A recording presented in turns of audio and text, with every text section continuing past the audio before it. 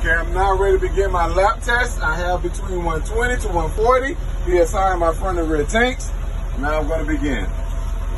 Turning off my bus, releasing my parking brakes, and turning my ignition forward. I'm going to wait for my needles to stabilize before beginning my test.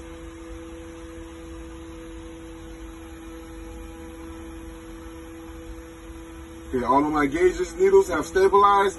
I'm going to start my test. My first test I'll be performing will be my air leak test. I'm going to hold down the foot brake for one minute, and I should not lose more than 3 psi.